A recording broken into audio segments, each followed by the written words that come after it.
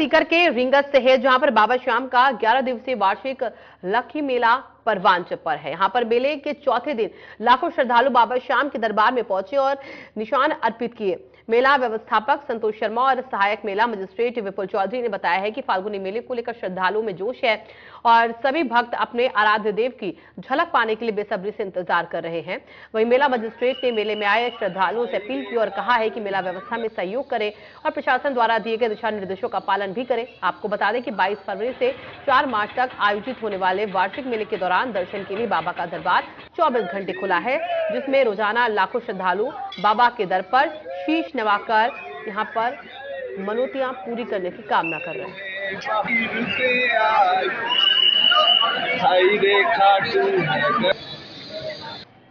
मेले में आने वाले श्रद्धालुओं के लिए विशेष तरह जैसे बैरिकेटिंग की व्यवस्था है, वो पूर्ण कर दी गई है। इसके साथ ही जल की माकूल व्यवस्था रखी गई है। मेडिकल कैंप्स में दवाओं की व्यवस्था की गई है। रिंगस से खाटू श्याम जी आने वाले पदयात्रियों के लिए रोशनी की व्यवस्था है। साथ ही संपूर्ण कस्बे में और मेला ग्राउंड्स में मंदिर कमेटी के द्वारा रोशनी की व्यवस्था कराई गई है।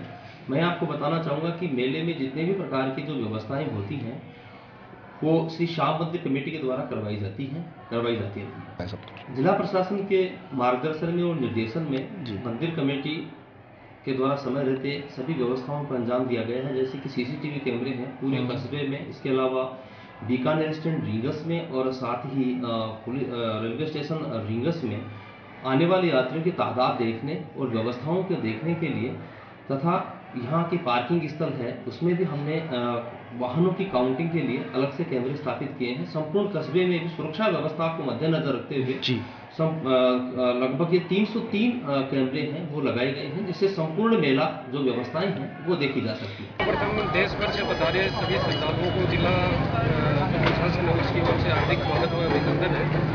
आपने इस मेले में देखा होगा कि जो व्यवस्था है, वो काफ़ी मज़बूत रस्ते हैं, वो पहले से अपनी साइज़ के चौड़े कर दिए गए हैं, चालीस फीट के रास्ते हैं।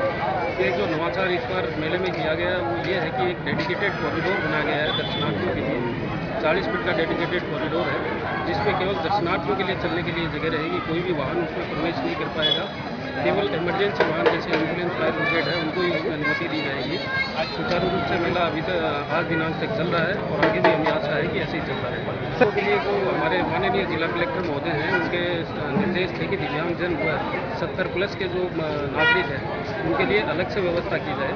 ऑनलाइन पोर्टल चालू कर दिया गया है, जिसमें कोई भी दिव्यांगजन अपना रजिस्ट्रेशन कर सकता है। दो सेंटर बनाए गए हैं, जहाँ पर उनका क्यू आर कोड स्कैन करके उनके लिए विशेष वो लाइनें रखी गई हैं। प्रथम व द्वितीय लाइन रीड मेंस की पहली पारी के